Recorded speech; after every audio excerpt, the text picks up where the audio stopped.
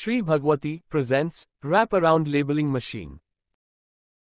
A wraparound labeling machine is a type of industrial machinery used in packaging and labeling processes. It is designed to apply labels onto the surfaces of various products, containers, or packages by wrapping the label around them. This type of labeling is commonly used for cylindrical or curved surfaces like bottles, jars, cans, tubes, and other similar items. Wraparound labeling machines offer several advantages, including efficient label application, high accuracy, and consistency in labeling, which is crucial for branding and regulatory compliance in industries such as food and beverage, pharmaceuticals, cosmetics, and more. When operating a wraparound labeling machine, proper training and understanding of the machine's settings and Thanks for watching. For inquiry contact below mobile number or email ID.